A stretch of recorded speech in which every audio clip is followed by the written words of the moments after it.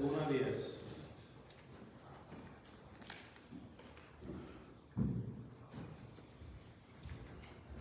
Dándole gracias a Dios por ser nuestra fuerza, por ser la fortaleza de su pueblo Israel.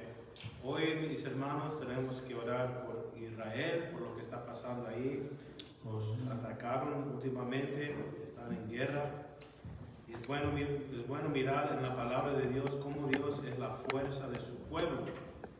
Jesucristo es la fuerza del creyente de la iglesia.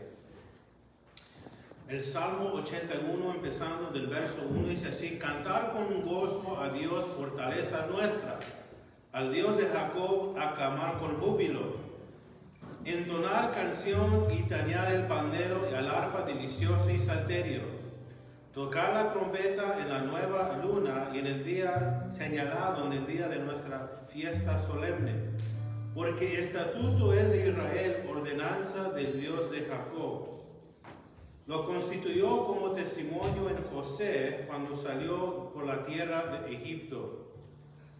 Oí lenguaje que no entendía. Aparté su hombro de debajo de la carga. Sus manos fueron descargadas de los cestos. En la calamidad clamaste y yo te libré. Te respondí en lo secreto del trueno. Le probé junto a las aguas de Meriba Oye, pueblo mío, y te amonestaré, Israel, si me oyeres. No habrá en ti Dios ajeno, ni te inclinarás a Dios extraño. Verso 10. Yo soy Jehová tu Dios, que te hice subir de la tierra de Egipto. Abre tu boca y yo la llenaré. Señor, Dios santo, le damos las gracias por estar aquí en tu, casa de oración, pidiéndote por las necesidades que tenemos y también pidiéndote por Israel, tu pueblo escogido, la niña de tus ojos, oh Dios. Señor, estamos en los postreros de los postreros tiempos. En Señor hay odio sobrenatural hacia tu pueblo Israel, hacia la iglesia también. El enemigo, Señor, trata de erradicar la fe en Dios, él trata de silenciar la palabra. Señor, pero eso es imposible. Porque ahí no hay nada que pueda detener tu amor, mi Dios Santo. Y como dice el apóstol Juan, Señor, mediante el Espíritu Santo, la luz prevaleció en contra de las tinieblas, oh Dios. Señor, sea con tu pueblo Israel, sea con nosotros, y que venga tu reino pronto, Señor porque tú eres el Rey, el verdadero Dios, el que nos salvó y nos redimió de todo mal, mi Dios. El que tenemos, Señor, somos llamados por tu nombre, tenemos una nueva identidad, un nuevo destino.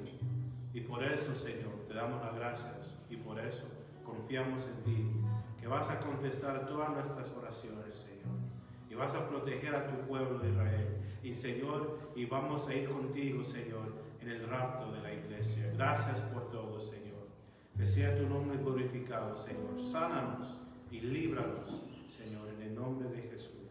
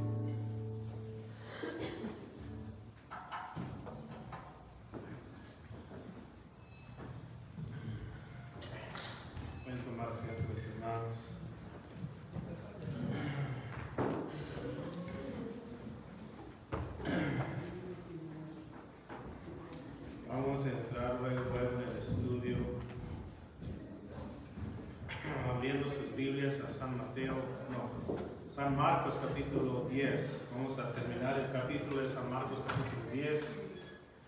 Hoy los hermanos van a empezar un servicio de oración a las 6. Entonces vamos a, a tener nuestro estudio. Y también mis hermanos el miércoles, primeramente Dios, vamos a estar de nuevo estudiando la bendita palabra. Ya estamos en octubre. Ya para el mes que viene estamos en noviembre, ya diciembre, ya se acabó el año.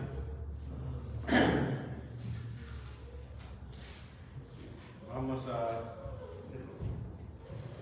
San Marcos capítulo 11. San Marcos capítulo 11. Perdón capítulo 10, vamos a empezar desde el verso 17. Marcos capítulo 10, empezando en el verso 17. Vamos a orar una vez más a nuestro Señor. Señor, gracias, gracias, gracias. Señor, estamos estudiando tu bendita palabra, Señor. No hay nada más que hacer. No hay nada mejor que escudriñar las escrituras juntos, Señor, y dejar que el Espíritu Santo mismo nos abra nuestros ojos y, Señor, por medio del nuevo pacto, Señor, tú escribiendo tu santa ley en nuestros corazones, oh Dios. Señor, gracias por todo. En el nombre de Jesús. Ahora, mis hermanos, estamos en el versículo 17. Un joven va a preguntar al Señor Jesucristo. Le pregunta qué se necesita hacer para poder heredar el reino de los cielos. Dice así, verso 17, al salir él para seguir su camino, recuerda mis hermanos, el camino de Jesús va rumbo a donde? A Jerusalén. En Jerusalén, mis hermanos, Él va a cumplir la obra de redención. Va a tener que cumplir todas las profecías escritas tocante a Él, ser rechazado y sufrir y morir, y al mismo tiempo, mis hermanos, resucitar entre los muertos. A seguir su camino rumbo a Jerusalén, dice, vino uno corriendo, hincando de rodillas delante de Él le preguntó, maestro bueno, ¿qué haré para heredar la vida eterna? Este joven vino y se inclinó ante la presencia de nuestro Señor Jesucristo, inclinó ante su presencia, al mismo tiempo le dijo que era maestro bueno. Y en, aquellos tiempos, mis hermanos, no podían decir a nadie bueno, porque solamente Dios es bueno. Pero este joven, mis hermanos, está diciendo algo. Él está diciendo, ah, él está diciendo, tú eres un maestro, tú eres un maestro bueno, tú eres el Mesías. Tú eres el Hijo de Dios. Y luego le pregunta, ¿qué haré para heredar la vida eterna? Vamos a mirar, mis hermanos, que este joven tenía una vida buena sobre la tierra y al mismo tiempo quería una vida buena en lo eterno en el reino venidero. Pero había algo que nos estorbaba de tener lo que él realmente necesitaba y lo que, lo que vamos a mirar aquí. El Señor pudo sacar de él lo que le estorbaba él y el reino de los cielos. Dice, verso 18, Jesús le dijo, ¿para qué me llamas bueno? los que no tienen el Espíritu Santo, los que de plano no son nacidos de nuevo, los que son engañados por el diablo mismo, dicen por este texto que Jesús no es Dios. Esas son doctrinas de demonios. Jesucristo al responder al joven de esta manera no está diciendo que Él no es Dios. Fíjate lo que dice, porque no me di, ¿por qué me amas bueno? Ninguno hay buenos sino solo, sino solo uno Dios. Otra vez, en la mente judía, del judío real, ellos sabían que no había nadie bueno sino Dios. Jesucristo dijo, ¿por qué me amas bueno? Si me amas bueno, entonces tú entiendes que yo soy Dios. Entonces tú sabes bien que yo soy el Mesías, tú sabes bien que yo soy Dios. Es lo que el Señor está diciendo. ¿Por qué me amas? Bueno, entonces tú conoces algo de mí, que yo soy Dios. El Señor no está negando, el Señor, ¿verdad? Cuando Él entregó su vida y, y el hecho que Él resucitó de entre los muertos, selló todo lo que Él dijo acerca de Él. La muerte no lo pudo detener, es evidencia, es el sello del cristianismo, que todo lo que Cristo dijo de sí mismo es el Hijo de Dios. Él es el Mesías, Él es que fue antes de Moisés. Todo eso, mis hermanos, en resucitar entre los muertos, dio prueba de que sí es el Cristo, sí es el Señor, sí es el Mesías. Entonces aquí el Señor le dice al joven, para que me digas, bueno, porque tú sabes que yo soy Dios. Y lo dice el verso 19, los mandamientos sabes. No adulteréis, no matéis, no hurtéis, no digas falso testimonio, no defraudéis, honra a tu padre y a tu madre. Verso 20, entonces respondiendo le dijo, maestro, todo esto lo he guardado desde mi juventud, esto ya lo estoy haciendo. No estoy cometiendo adulterio, no estoy matando a nadie, no estoy hiriendo a nadie, no estoy robando a nada, no estoy hablando mal de nadie, no ando defraudando, yo cuido de mis padres. Pero el Señor, mis hermanos, les voy a decir otra vez, Él va a sacar, él, él, va a mostrar más bien a este joven lo que Él, lo que le está impidiendo a entrar en el reino de los cielos. Es una buena persona, este joven es una buena persona. Tiene buenos valores, tiene buenos morales y, al mismo tiempo es rico. Este joven tiene todo lo que el mundo dice que uno debe de tener. Es un hombre bueno y es un hombre muy rico. Pero fíjate lo que dice verso 20. Él entonces respondiendo le dijo, Maestro, todo esto he guardado desde mi juventud, verso 21.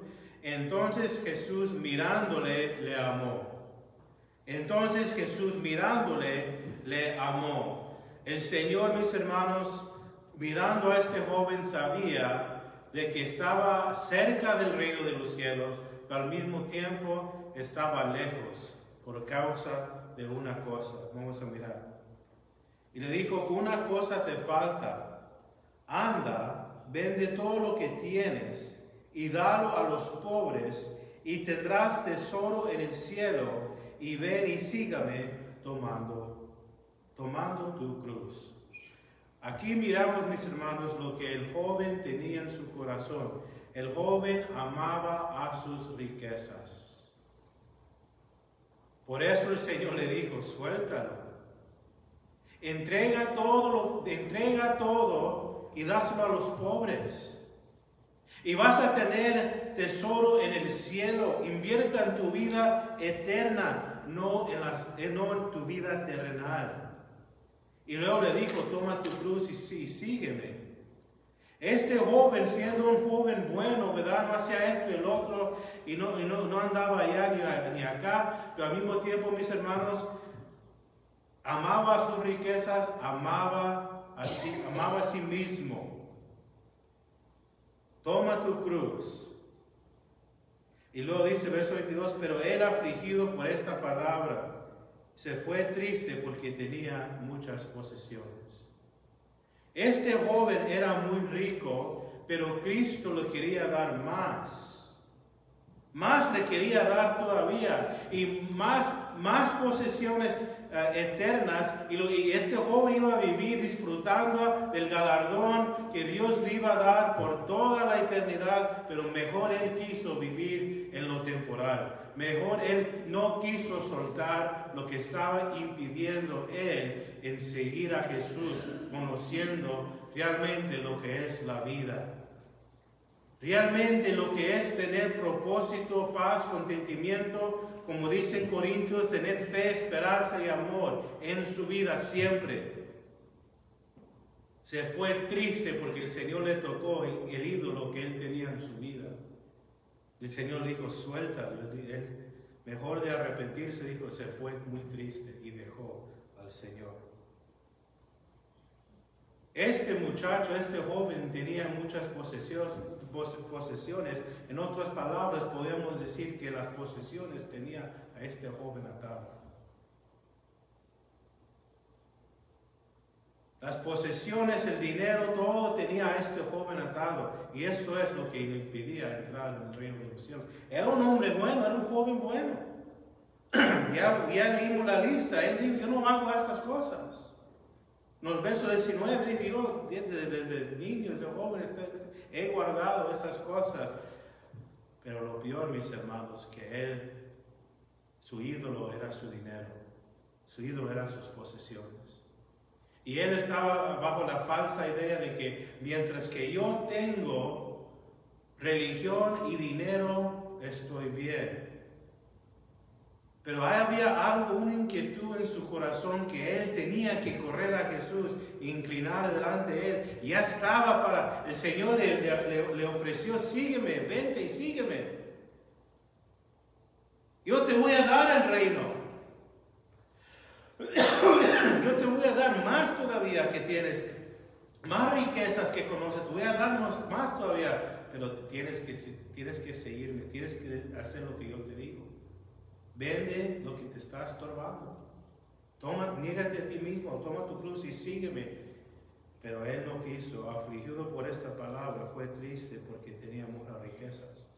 Verso 23, entonces Jesús, mirando alrededor, dijo a sus discípulos, cuán difícilmente entrarán en el reino de los cielos los que tienen riquezas, los que tienen riquezas.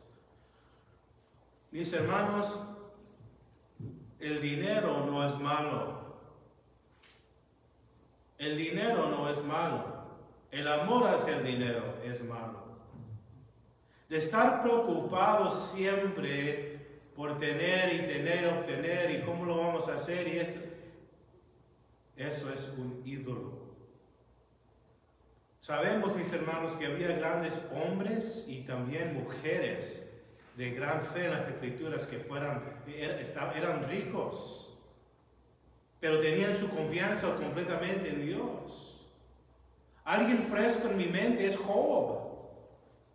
Era un hombre bastante grande y rico, pero un día, un día se le fue quitado todo esto, hasta su salud. Pero él, mis hermanos, siempre confiaba en Dios y Dios lo restauró más.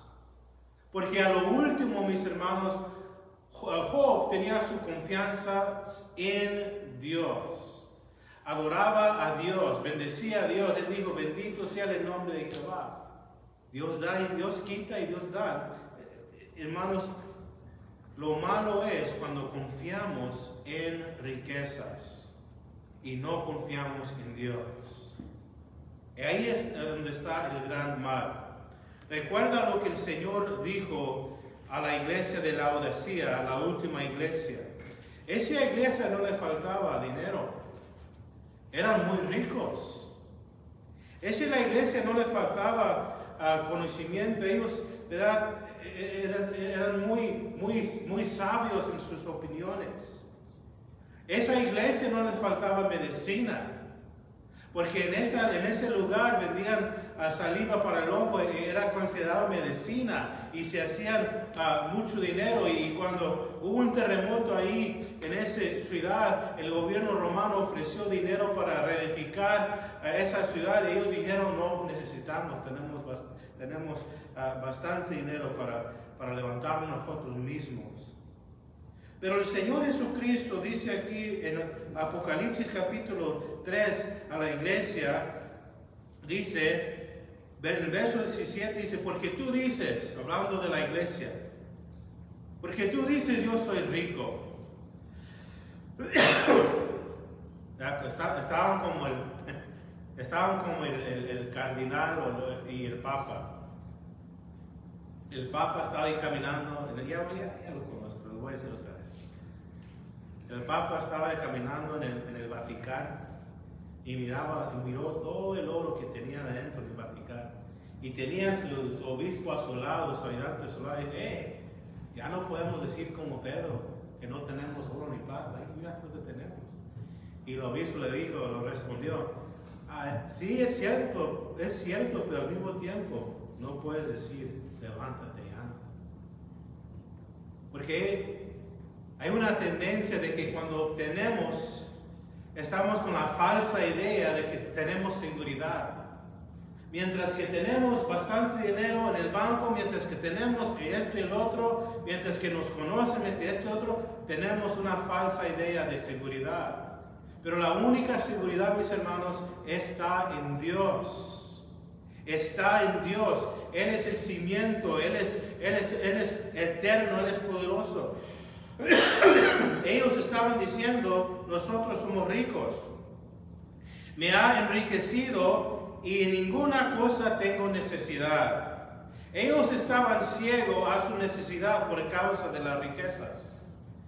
Pero fíjate lo que dice el Señor. No sabes que tú eres un desventurado, miserable, pobre, ciego y desnudo.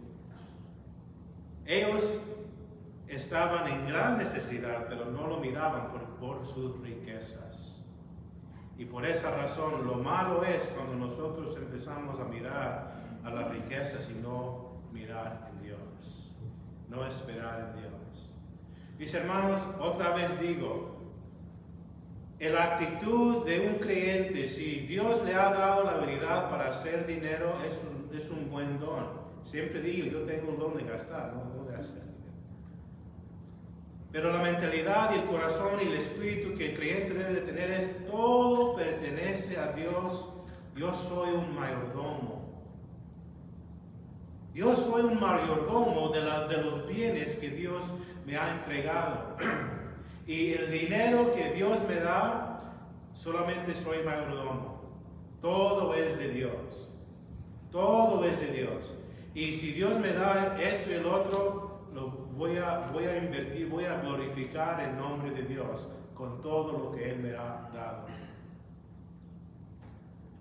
Por eso, mis hermanos, como dijo la, persona que trabajaba haciendo taxas,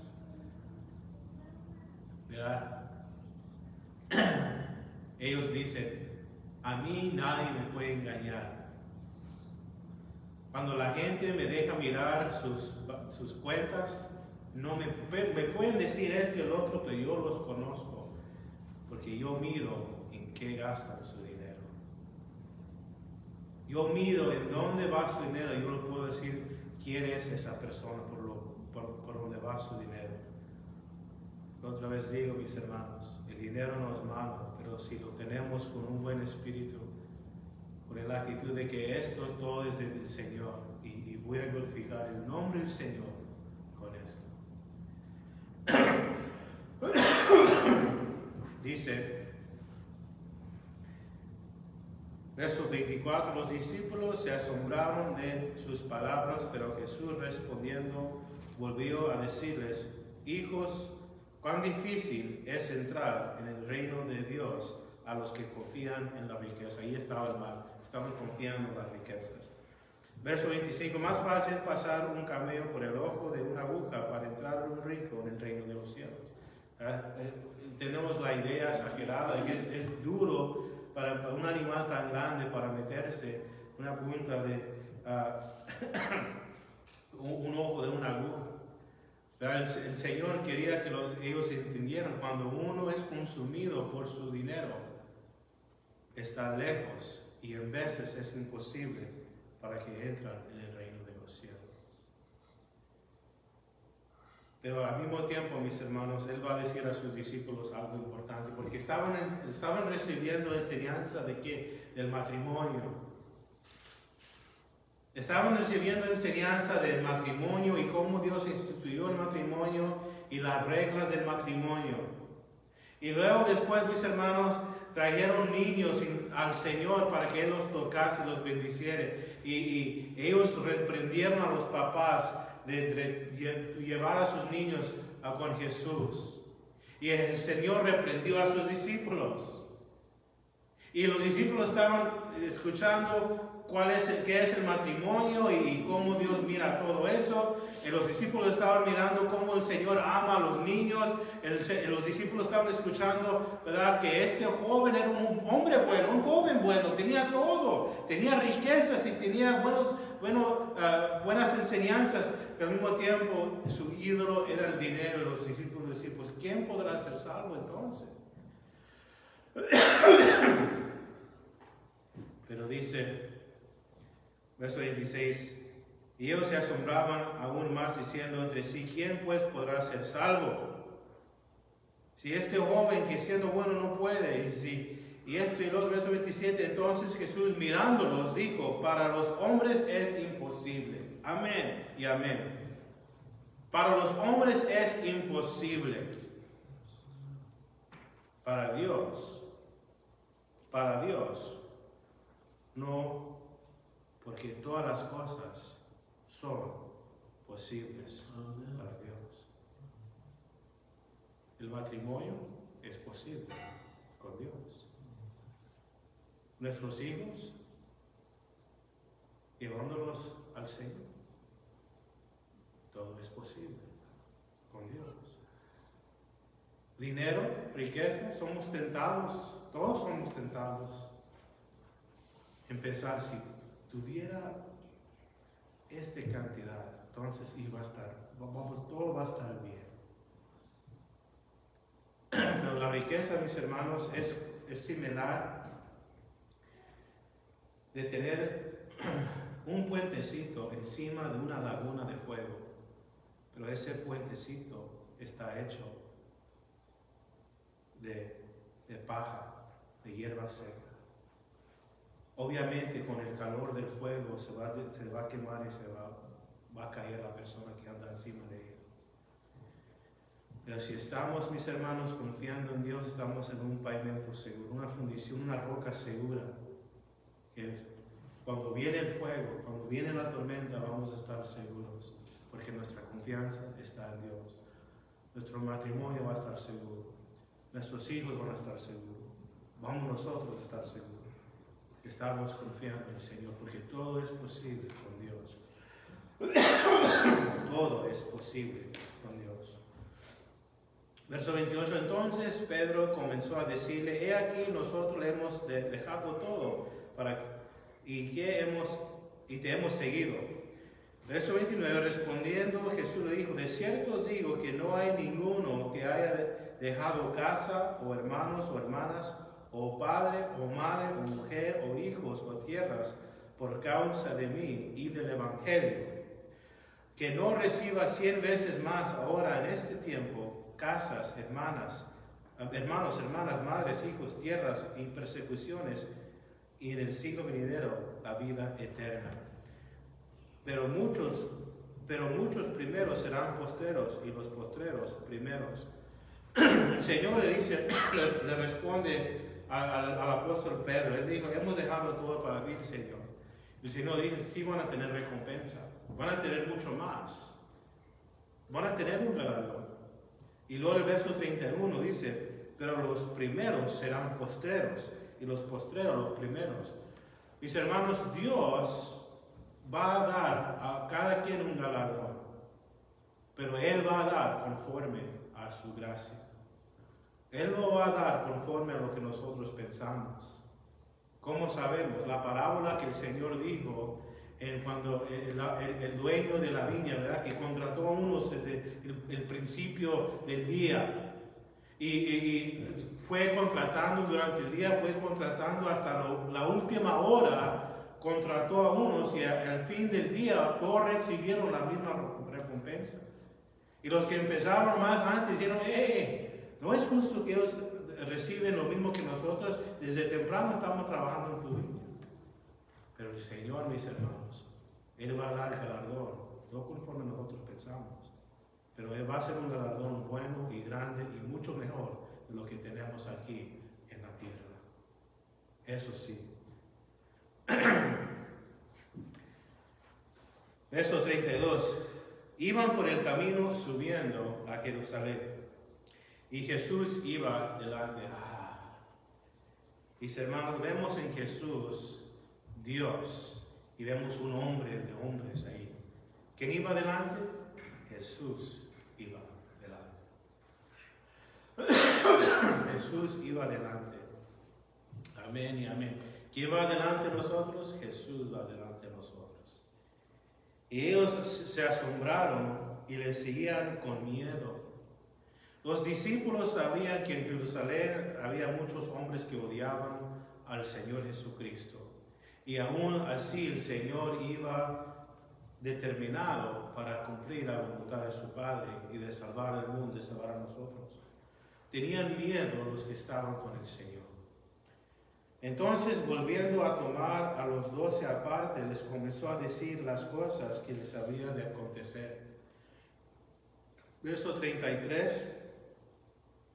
Y aquí subimos a Jerusalén y el Hijo del Hombre será entregado a los principales sacerdotes y a los escribas y lo que condenarán a muerte y le entregarán a los gentiles. Estos hombres que estaban encargados en Jerusalén, mis hermanos, iban a poder condenar a Jesús a muerte, no por ningún mal que el Señor hizo, no por quebrantar ningún ley o por hablar algo malo, tuvieron que fabricar una falsedad para poder condenarlo a muerte. Pero al mismo tiempo, mis hermanos, por eso vino Jesús a cumplir la obra de la cruz, porque antes de la corona estaba la cruz. Antes de la corona estaba la cruz. El Señor está siempre repitiendo a sus discípulos que Él va a sufrir, va a ser entregado, lo van a abandonar, va a sufrir. Y dice, y lo entregarán a los gentiles. Los judíos iban a fabricar algo en contra de Jesús y los judíos iban a poder convencer a los romanos que el Señor era culpable de, muerte.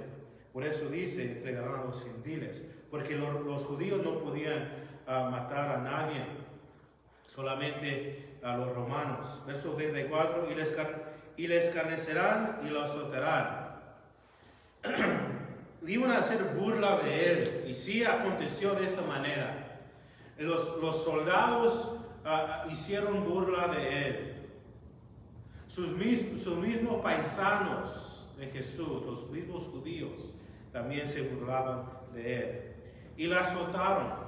¿verdad? El, chicote que usaban ellos eh, a, la, punta de los pedacitos de piel estaba amarrado piedra, vidrio y hueso. Y muchas de las víctimas, cuando después de ser azotados, muchos murieron porque ah, arrancaban mucha carne de la espalda y, y, muchas de las veces se podía mirar el hueso de la persona o los huesos y se le en él. Es un insulto muy grande, especialmente en ese lugar del mundo. Cuando alguien te escupa en la cara es una ofensa horrible. Básicamente están diciendo que no sirves para estar vivo sobre la faz de la tierra.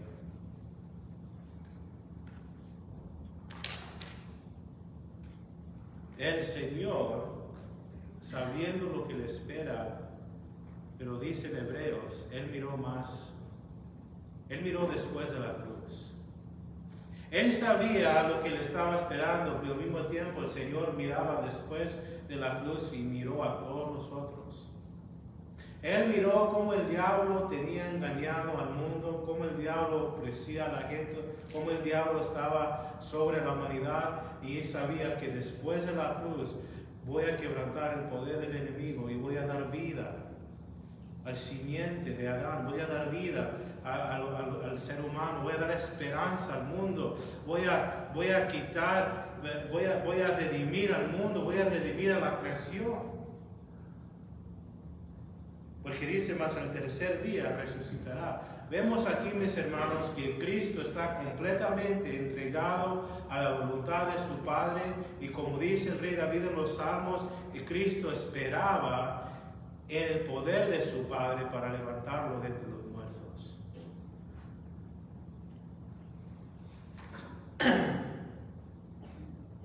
Dice, el tercer día resucitará, sellando el cristianismo. ¿Por qué creemos lo que creemos? ¿Por qué sabemos que la Biblia es verdadera? ¿Por qué sabemos que podemos confiar en la palabra? Por la resurrección de Cristo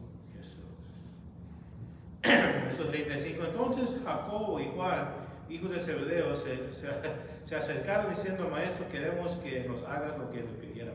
El Señor está diciendo que va a sufrir, va a morir. Luego estos dos discípulos se le ocurrieron a, pensar en ellos mismos. Él les dijo, ¿qué quieres que os haga?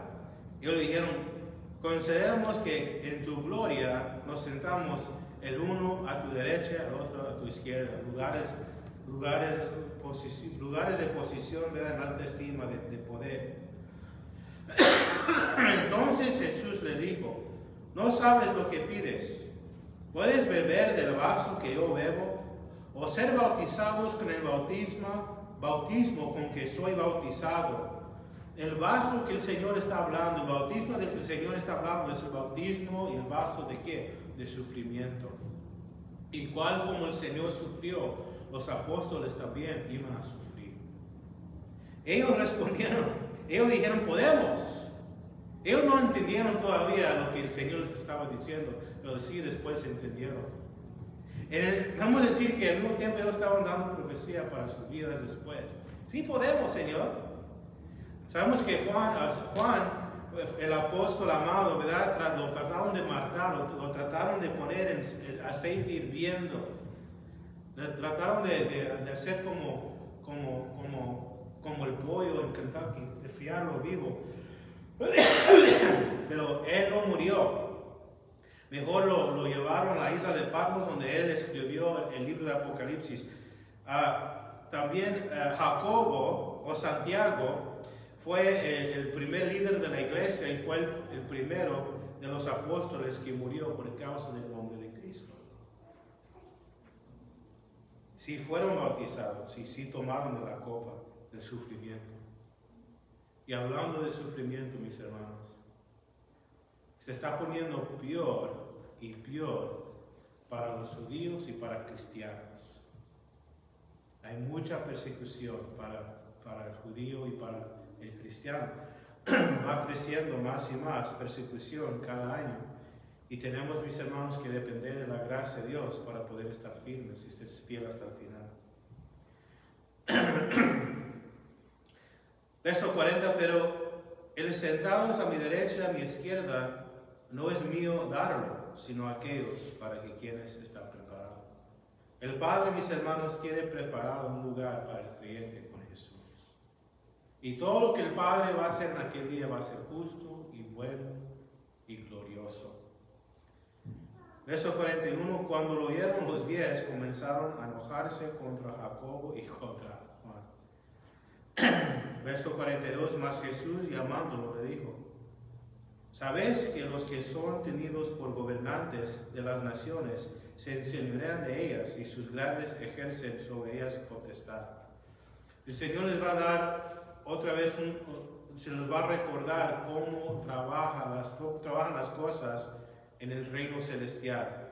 Es al revés comparado con cómo el mundo trabaja. El mundo, ¿verdad? Dice que si tienes poder, si tienes lugar alto, tienes que gobernar con fuerzas. Tienes que tener a gente que te sirve a ti. Tienes que mostrar tu poder y tu respeto. Tienes que, que esto y el otro. Verso 43, pero no será así entre vosotros. En el mundo es así. Pero entre, entre, entre los cristianos, entre los creyentes, entre el pueblo de Dios no debe de ser así. sino que el que quiera hacerse grande será vosotros vuestro servidor. Los que son cristianos, los que son partes del cuerpo de Cristo, deben de servir para algo. Es lo que el Señor está diciendo.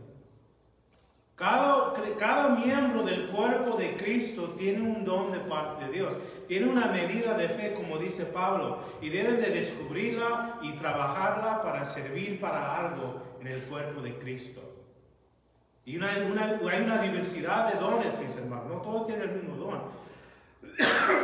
Pero uno descubriendo lo que es su don, úsalo para que sirven de algo en el cuerpo de Cristo.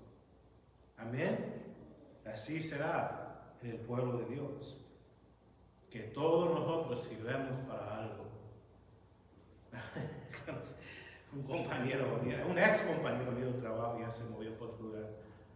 Él, él, él él es todavía un trabajador. Llegar al trabajo y, casi no lo miras parado.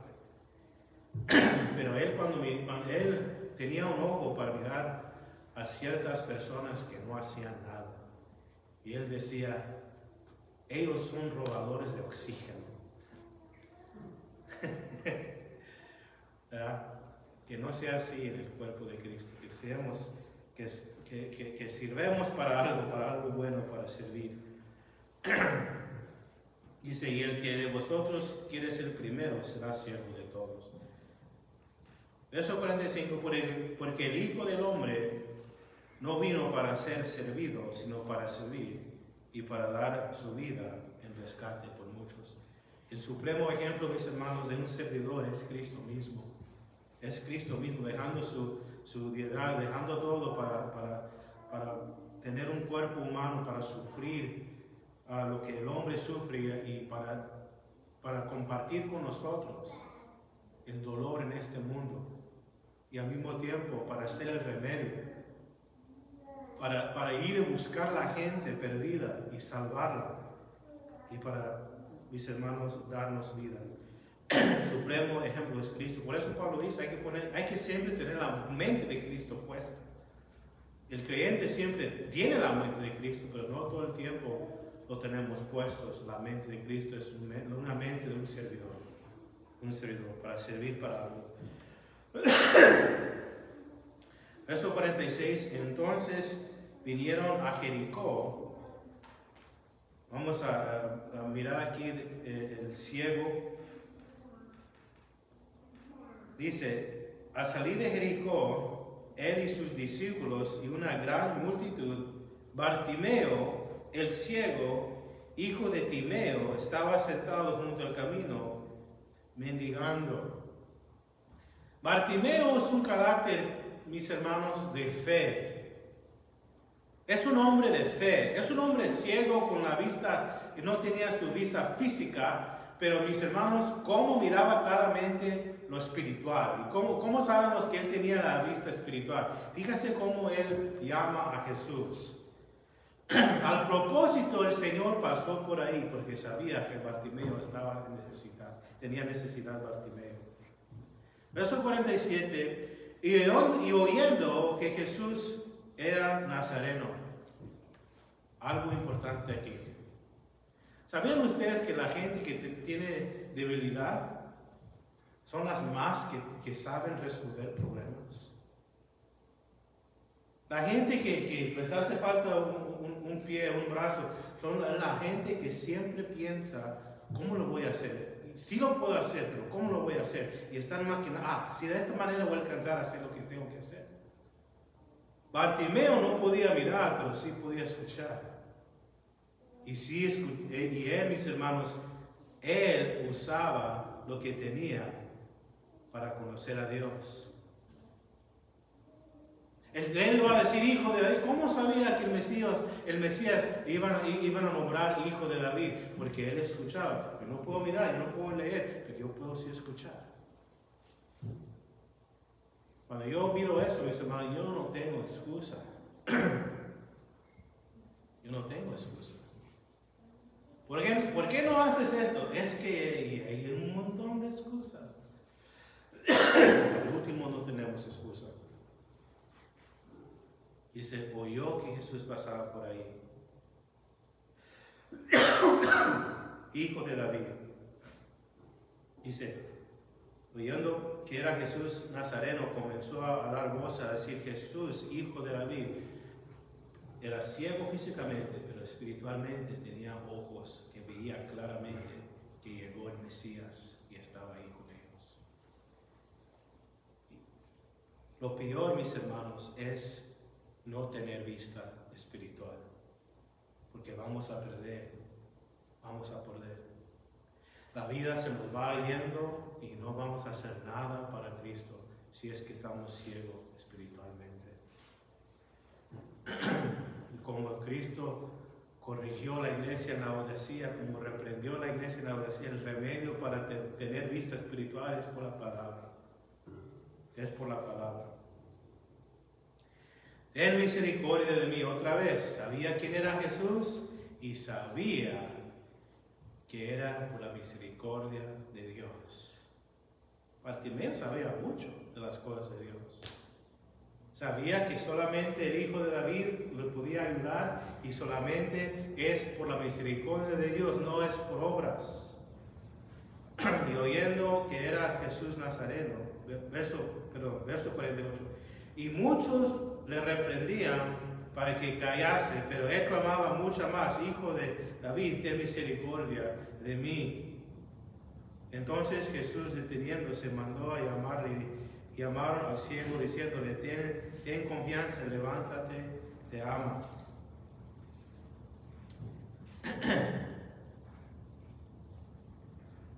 Verso 50, él entonces arrojando su capa se levantó y vino a Jesús. Verso 51, respondiendo Jesús dijo, ¿qué quieres que te haga? Y el ciego dijo, maestro, que recobre la vista. Jesús le dijo, vete, tu fe te ha salvado. Mis hermanos, el Señor no tuvo que tocar a este hombre. Le dijo, vete, tu fe te ha salvado.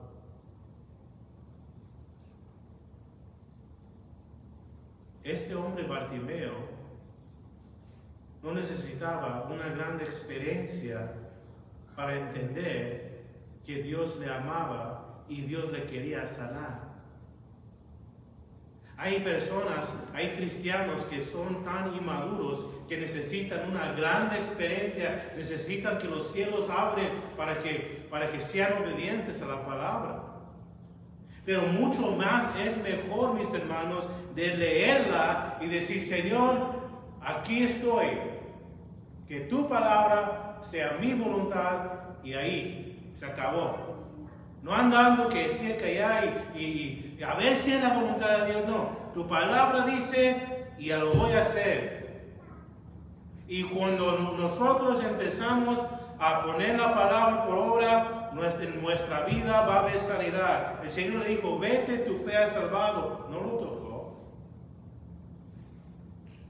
Y enseguida recobró la vista y seguía a Jesús en el camino. Este Bartimeo, mis hermanos, es un hombre grande. Fue un ciego, pero no ciego espiritual. El ciego espiritual es lo peor.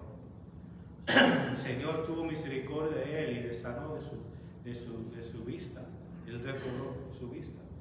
Pero Bartimeo, mis hermanos, siendo sanado de su cuerpo físico, dijo, eh, eh, voy a seguir siguiendo a Jesús. Él es el Mesías. Él es el Señor. Vamos a orar. Señor, muchas de las veces, Señor, hacemos lo muy simple, lo hacemos complicado. Pero gracias por tu amor y misericordia que no falla. Tú no nos dejas, Señor. Tú estás, Señor, siempre con nosotros. Y por tu amor tú nos corriges, mi Dios. Tú nos, Señor, nos, nos, guardas, nos enseñas. Gracias por todo, Señor. Gracias por darnos la vista espiritual. Ayúdanos a llevar el, mensaje del Evangelio a aquellos también que son ciegos, para que ellos puedan mirar bien las cosas como son. Gracias por todo. En el nombre de Jesús. Bueno, mis hermanos,